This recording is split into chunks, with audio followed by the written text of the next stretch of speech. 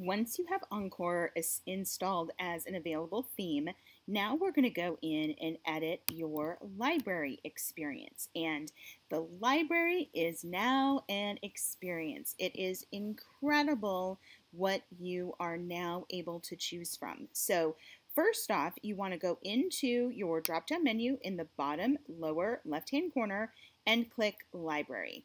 This will open up the design page for creating and editing your library experience. Now, before we start editing and going into all the incredible pieces of this library, I want to show you what libraries have been limited to before. So this is just an example of a Premier theme that is active on a website. And you'll see everything lines up right here. And really what we were able to do would be to have our products listed, then recommended courses, so right here available for purchase, and then offers right here. But we couldn't do very much with this absent custom coding. So now let me take you into Encore and show you how incredible your choices now are. All right, so we are here in the library, and as you are looking at the library, you see the header right here. See how it's in its own white area?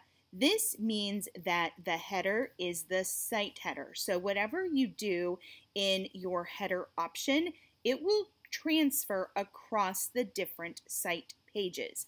Now, these other areas where you see link list and hero and products and the offer storefront and also the ability to add a section, that is unique to this page. And you can tell because the background is just slightly grayed out behind it. So let's start in the stuff that is unique to the library. So first off is a link list. We can now put link lists on the pages in different spots. They don't have to live at the top of the page anymore, which is amazing. So if we click on link list, this is where you will see that there is now a member menu.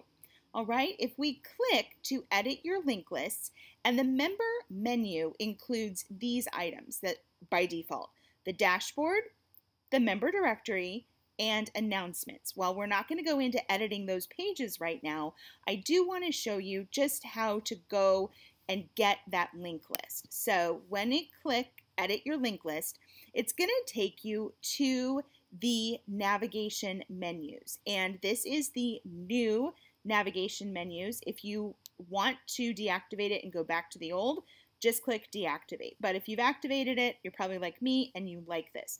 So our default menu, you'll see it's the main menu and the footer, which is the standard default, and the member menu. So again, you have the ability to add anything that you would like, to delete anything that you would like, but this is where the default member menu lives. So let's go back into the library.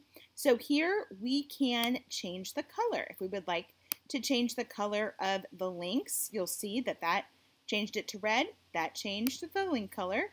We can change that we can put in a title. If we want to show the title, you'll see it says list title. So again, so much functionality that you have available. We have our normal desktop, mobile, animations, background, all of the features that we love about Encore, they all are available, which is phenomenal. It's so much fun. Now, I want to go back into here. The next piece that by default is here is Hero.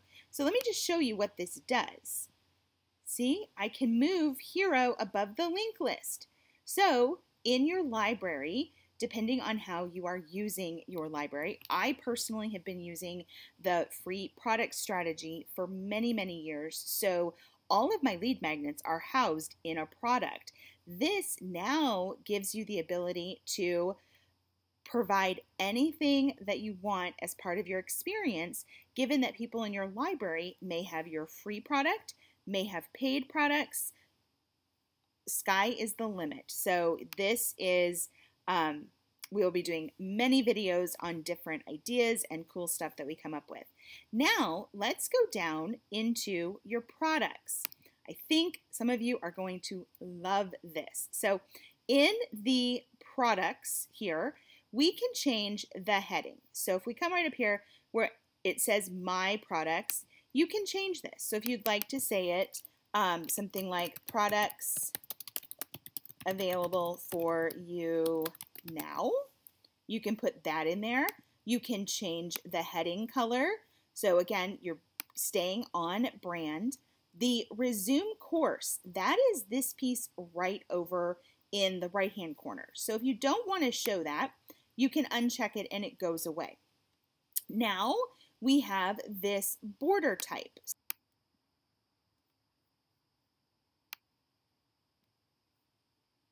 There it goes. Okay, so I put, is able to put this box around the products, just like that. Now you can change. I find it easier to almost click where, where I'm looking and versus clicking on the left-hand side. So right here, it'll say view product. Now I know, okay, I'm right in this section. Now I can kind of scroll down and look at the different product pieces. So here where it says product layout style, if I choose, watch what happens. I now have cards and I can make them equal or not equal. I think most of us are going to prefer equal height items. I also have the ability to say how many products are available per page.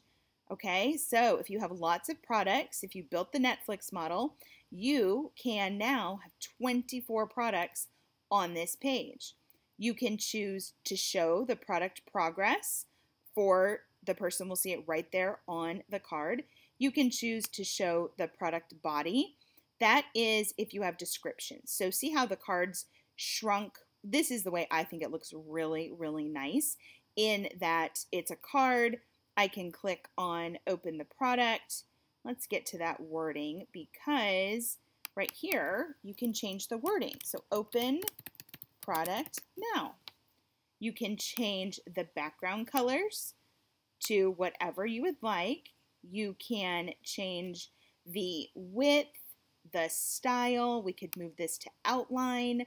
Whatever looks the best for you and the because it's so easy to edit, you can change it. So I think so many of you are going to just absolutely love the way that you can now display your product in the library. Now, we're going to keep scrolling down and this is very, very cool.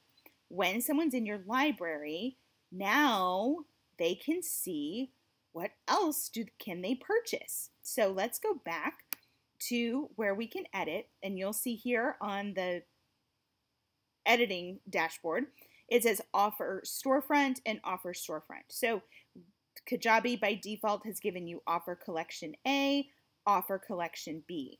So let's open up one of these. And again, full editing capabilities, okay? I can move, if I want to move these around, I can move them around. I could put all of the offers above the text, just like that. Again, I have added content. I can put different things in there. Um, again, so much flexibility and opportunity now lie in your library. Your library really is now a working fluid experience, which is incredible. So let's just look at one of these offers. Here we can then choose the offer. So let's see here. We're on my test site, so the things are always interesting. Open in a new tab. I think that's a good idea if they're in their library to let them go out and see the offer page versus having it take over the library window. Here is the part that is amazing. Don't show it if they already own it. So, your members, your people that have already purchased products, you're able to provide an experience catered to them. amazing, absolutely amazing. We still have the background, desktop, mobile, animations, time reveal. You have full design and editing features, which is just amazing. I love that this is available to us and we can now play with this. Now, the other things that you can do here, you have the ability to add anything else that you would like. So let me just give you an example of what I have added into my library experience. So this is the PBK library. You'll see I've added things. I did the double border. Now everything is nicely arranged in cards um, that would take them right into their product. And yes, I did build the Netflix model. I have many courses that are available. But here, this is for people, again, keeping in mind it's subscribers. For me, they own a product, but I keep all my lead magnets in a free product strategy.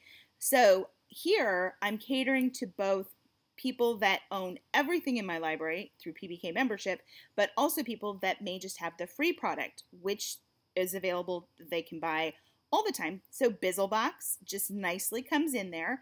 Here, I've I can put in the upcoming event that is going on.